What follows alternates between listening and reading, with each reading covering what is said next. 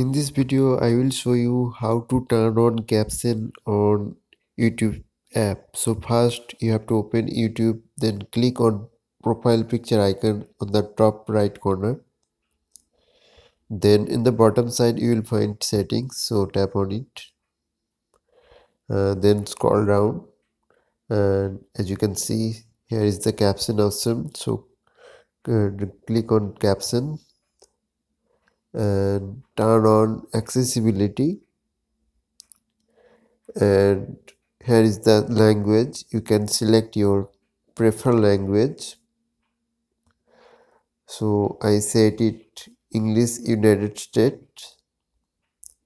And here you will also find caption style. So if you want to change caption style so click on it. As you can see there is menu option here. So select any option you like and that's it. Thanks for watching and if you have any question comment me below. Thanks for watching